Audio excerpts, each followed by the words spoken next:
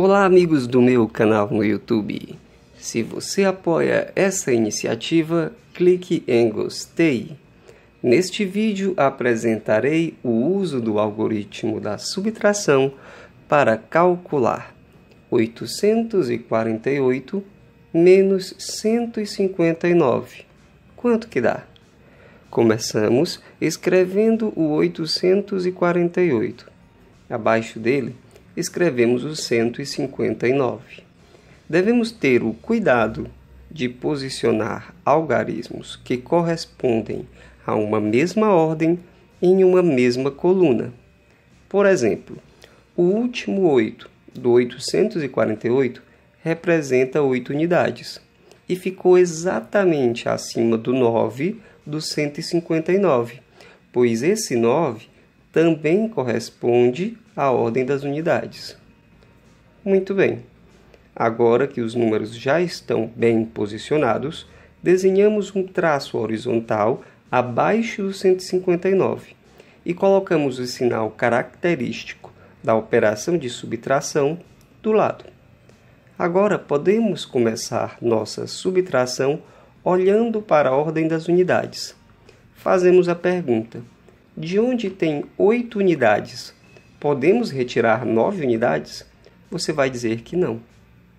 Então, olhamos para a ordem seguinte e vemos se podemos tomar uma dezena emprestada e transformar em unidades.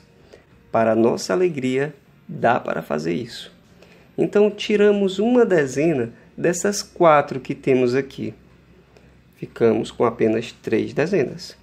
A dezena que retiramos vale 10 unidades. Juntando com as 8 unidades que já tínhamos, ficamos agora com 18 unidades. Veja que escrevemos o número 848 como sendo 830 e mais 18 unidades ali. Bom, de 18 unidades, podemos retirar 9 unidades. E é claro, restam 9 unidades ainda. Resolvemos o problema na ordem das unidades. Vamos olhar agora para a ordem das dezenas. Temos agora três dezenas e desejamos retirar cinco dezenas. Não dá. Então, olhamos para a ordem seguinte. Temos aqui oito centenas. Retiramos uma centena e assim restam apenas sete centenas. A centena que retiramos vale dez dezenas. Como tínhamos três dezenas, ficamos agora com treze dezenas. Agora sim, de onde existem 13 dezenas, podemos retirar 5 dezenas. Fazendo isso, restam apenas 8 dezenas. Olhamos agora para a ordem das centenas. Restaram sete centenas e desejamos retirar uma centena. Podemos fazer isso com tranquilidade. Restam apenas seis centenas. Assim, 848 menos 159 é igual a 689. Nessa subtração, 848 é o minuendo, 159 é o subtraindo e 689 é a diferença, o resto. Se você tiver 848 reais e gastar 159 reais, ficará apenas com 689 reais. Se você quiser conferir que a subtração foi realizada corretamente, basta realizar a operação oposta, isto é, basta realizar uma adição. Ao adicionar 689 com 159, o resultado deve ser 848.